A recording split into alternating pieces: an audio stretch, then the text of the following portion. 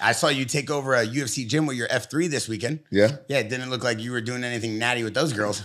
What are you trying to say? Well, I don't know. The F three girls are they're my friends. They're fighters. Oh, okay. They're good. They're All good right, girls. Good. I heard you were a HR nightmare though. No, hell no. I don't. I don't mix business with. Mm. That's not what I heard. I heard you got robbed. Oh fuck yeah! That was at the Vietnamese coffee shop. You got robbed? Yeah, yeah. I was. I went. My stepbrother was in town. Right. I got a stepbrother with the same name as me. That's a whole different story. So your stepbrother robbed you? No. Name's Rampage? No, Quentin. Man, his dad married my mom, Okay. and and His name's Quentin. his name is Quentin. You didn't know that? No. Wait, that's your name. My my stepbrother and I, we both have the same name, and we're a month apart. I'm older than him by a month. so he came to visit me for his birthday. Mm-hmm. I took him to a strip club, all this stuff, blah, blah. But it was Sunday, he was flying out. So I said, hey, let me take you to one of my, my favorite spots that I go to. So I took him to a Vietnamese coffee shop and the girls, you know, tits out and stuff. And he was he was like, whoa, he'd never seen nothing like that before, right? So we just sitting there talking. One of my homeboys uh, show up, he's Vietnamese. He show up and we talking and talking business and stuff.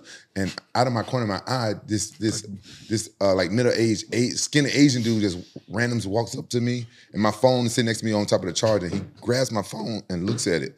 And for a second, I looked at it. I used to work at a Vietnamese bar, so I thought maybe somebody knew me from the past, was fucking with me or something. And I looked up at him, and something just told me, just watch and see what he do. And, and he just casually just looked at my phone, thinking about taking it, mm, put it down, and he grabbed my wands because you tip the girls wands. He grabbed my wands, looked me dead in the face like he like he fucking like like the hardest gangster in the motherfucking world with a simple face, looked me in my in my face and fold my wands up and put it in his pocket and just casually walks off with his hand behind his back, like like like nothing happened. And and and my friend, my friend was sitting next to me. He heard them yelling at him in Vietnamese. My friend speak Vietnamese. He said, "Oh, oh, oh." uh, don't do nothing to him. He's uh, mentally, he's mentally ill. I said, yeah, I know that motherfucker mentally ill. He come taking my motherfucking money.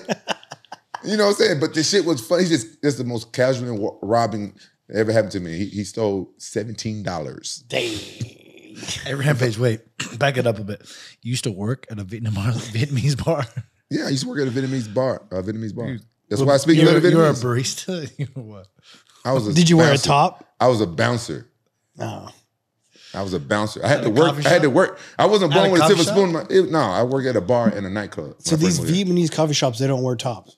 Well, they take them off. They don't wear bottoms either. Oh, really? Some of them. And they come around serving coffee? Tea. They p- fill up your tea. You go. You sit down. You order your fucking coffee, and they they, they most of the time they're dressed in, but then they make a rounds where they take stuff off. I think we should ask the uh, the Jaxxon Discord, as Bear would say, if we should do a live broadcast from Vietnamese. No, they won't. You can't even take. You won't even take no. You can't even take no picture in there. But my stepbrother, he was like, my stepbrother. That was his first time I'm sitting there. He was like, he was like weirded out. But I'm glad I didn't get upset though, because I, I would have felt bad because I, I was thinking about choke slamming that motherfucker. But then he was he's kind of like mentally ill, right? but then the the thing is, this would make me proud of myself.